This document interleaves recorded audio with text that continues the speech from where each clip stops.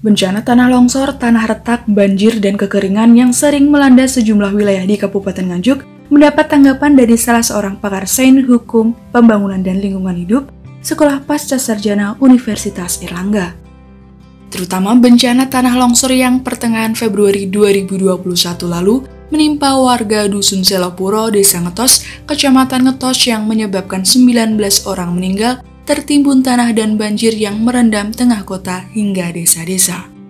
Hingga dari Sekolah Pasca Sarjana Universitas Erlangga telah mengirimkan tim forensik untuk turut serta mengidentifikasi korban-korban sebagai bagian kepedulian bencana longsor Dusun Selopuro. Berikut adalah hasil wawancara Nganyuk TV bersama pakar lingkungan hidup, juga Wakil Direktur 3 Sekolah Pasca Sarjana Universitas Erlangga, Profesor Dr. Haji Suparto Wijoyo, SHM Oh ya, pertama saya turut berbela sungkawa yang sedalam-dalamnya atas peristiwa tanah longsor di Desa Selopuro, Ngetos, Nganjuk itu. Ya. Bahkan kami dari Sekolah Pasca Sarjana Universitas Airlangga juga telah mengirimkan tim forensik ya untuk turut serta melakukan identifikasi korban-korban ya.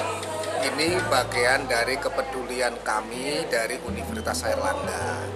Yang kedua, tentu ini satu keperihan yang mendalam karena peristiwa semacam ini pasti bukan peristiwa instan.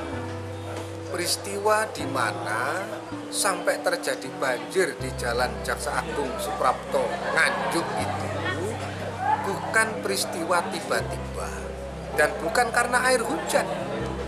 Karena air hujan itu teologi kita adalah nikmat bukan laknat.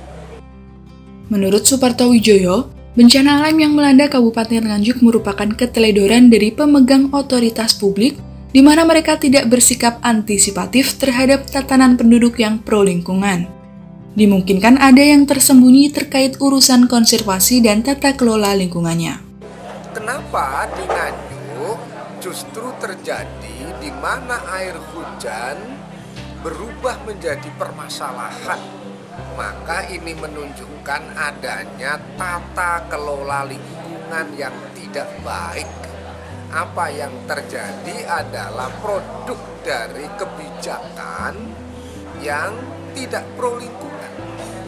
Maka harus jadi pengalaman bersama relokasi itu adalah pilihan dan kemarin yang saya ketahui dari desa dusun ya ini dusun ya dusun Selopuro itu kemudian masyarakatnya direlokasi tapi membiarkan masyarakat tinggal di sebuah tebing dengan kelerengan semacam itu.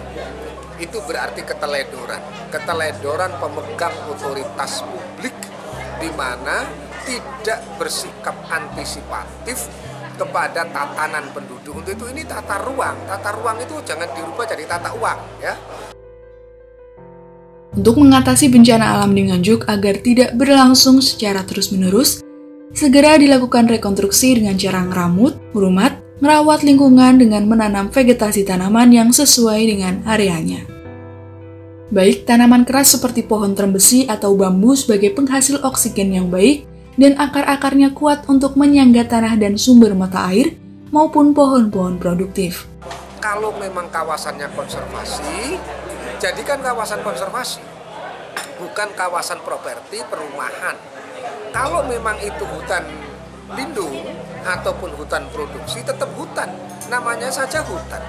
Bukan kemudian karena ini hutan produksi diambil produknya ditebangi kayunya bagian dari pemanfaatan kayu. Bukan begitu. Kalau hutannya ditebang, arealnya gundul, lereng-lereng wilisnya gundul, maka yang terjadi adalah peristiwa yang dimaksud itu. Itu predictable untuk diketahui. Kenapa?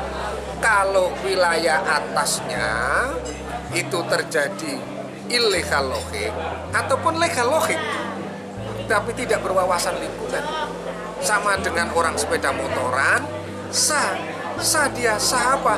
Sah mengendarai punya SIM, punya SIM. tapi nabrak orang apa kemudian itu tidak kriminal kan tetap kriminal toh sama orang yang motong-motong pohon di sana mungkin legal tapi keseimbangan ekosistem terganggu maka itu bagian dari kejahatan lingkungan Bencana di Nganjuk bukanlah peristiwa instan hingga terjadi banjir di mana-mana dan bukan pula peristiwa tiba-tiba hingga air hujan sebagai tertuduhnya. Karena air hujan itu teologinya adalah nikmat bukan laknat. Jadi berarti di wilayah Nganjuk sebenarnya ada yang tersembunyi urusan konservasinya, urusan tata kelola lingkungannya yang harus menjadikan pemerintah Kabupaten Nganjuk masyarakat dan seluruh jajaran LSM, NGO, komunitas sejuk apa yang harus dilakukan? Yuk, kita sekarang berbenah. Kalau salah menyalahkan tentu hari-hari ini semua orang tidak mau disalahkan. Maka apa yang harus diambil? Komunitas Kota Sejuk mengambil prakarsa bersama dengan pemerintah kabupaten bekerja sama dengan Pak Bupatinya untuk apa? Yuk kita benahi rekonstruksi kawasan dengan cara apa? Rehabilitasi lagi, berarti penanaman pohon dilakukan. Kedua, penataan areal, tata ruangnya diredesain kembali. Kalau kawasan konservasi-konservasi jangan ditempati untuk menjadi kampung-kampung properti baru. Yang ketiga, berarti apa? Daya dukung lingkungannya ditopang melalui kebijakan eh jangan mencemarkan, jangan ngotori, jangan menebang pohon, selokan-selokan dibersihkan, saluran-saluran irigasi dibenahi, drainase perkotaan ditoto, pola pikirnya klimatologis. Apa itu klimatologis? Kalau kerjanya hari ini musim penghujan, sudah mikirkan kalau musim kemarau. Berarti apa? Air hujan hari ini harus dipanen menjadi apa? Panen raya hujan. Untuk apa? Ditampung. Nampungnya di mana? nampungnya di bosem-bosem di mana lagi ada di embung-embung atau telaga-telaga untuk itu nenek moyang dulu nenek moyang orang-orang nganjuk mesti gini satu kampung satu satu dusun satu telaga di di biar niku setiap daerah itu mesti ono telogo ini ono telogo ono jublang dan pasti jublang-jublang itu akeh dan itu mesti akan ada airnya dan sebelah jublang mesti ono pohon-pohon besar. Kenapa begitu? Karena sumber mata air. Karena sumber mata air. Terus apalagi yang ada di situ? Pasti ono gubuk-gubuk. Gubuk apa ini? Ini gerdu-gerdu. Gerdu apa? Penyelamatan. Dan ono lumbung pangan. Jadi mesti setiap kampung biar itu ono lumbunge, ono gerdune, ono telogone. Mesti kalau komunitas kota Seju dan pemerintah kabupaten Nganjuk hari ini bergerak bersama apa? Satu dusun, satu telaga, satu lumbung pangan, dan satu gerdu lingkungannya selamat keamanan kampung kamlingnya terjaga karena ono gerdune krisis pangan gak akan terjadi mergobo ono lumbung pangan setiap panen apa itu panen jagung apa itu panen padi apa itu panen sayur apa pun itu perikatnya itu bisa dibagi dan disimpan. Oh, nek panen padi setiap 10 ikat satu ikat untuk lumbung pangan. Gunanya apa? Ini wayai krisis pangan musim paceklik, lumbung dibuka, ditunggu nang wong sing kelaparan. Gak ada ceritanya, ceritanya moya zaman Jepang itu kelaparan. Kelaparan itu terjadi perang saudara soalnya. Untuk itu apa? Wes ojo salah-salahan mana? Sekarang guyuk rukun agawe santoso di Nganjuk ya. Caranya gimana? Pikiran-pikiran dari kota sejuk harus ditularkan. Harus ditularkan. Yang boleh menularkan kan menularkan virus corona. Tapi kalau virus-virus konservasi virus bangun setiap desa ini ono sumber air dijaga ditanami maka itu adalah keselamatan. Untuk itu nenek moyang dulu ngajarkan gini, yuk nandur wit-witan. Wit-witan itu artinya pohon. Pohon itu ya wit-witan. Wit-witan itu permulaan kehidupan. Maka Nganjuk akan selamat dengan cara apa? Ngeramut, ngerumat, ngeruat lingkungan. Matur nuwun. Vegetasi yang tepat kira-kira apa? Ya dicocokkan dengan arealnya.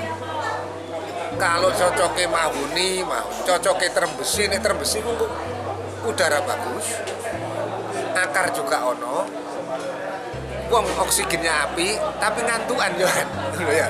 Terus nah, bambu.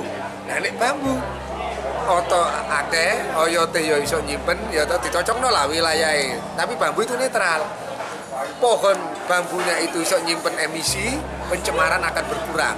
Mata air api bunga kena digawe jangan. Ya untuk itu kena digawe sayur sayuran trai gedek barang itu loh ya. Nah itu itu bunga mohon api. Pohon-pohon produktif monggo pohon-pohon produktif.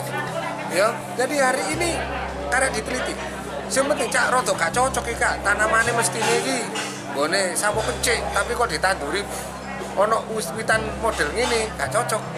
Iki kok ono buah mentega eh, lebih baik gak sampai cocok tapi nandur daripada gak nandur kakek cocot. Ya ngerti kakek cocot tak? Eh kakek cangkem rek. Kon iki mulane wedang nandur ae sing apik ya? Wis. Seduluran dari Surabaya. Untuk Nganjuk Justru yang terjadi di Nganjuk, air hujan berubah menjadi permasalahan karena terjadi tata kelola lingkungan yang tidak baik dari produk kebijakan yang tidak pro lingkungan. Dari Nganjuk, Jawa Timur, Nganjuk TV melaporkan.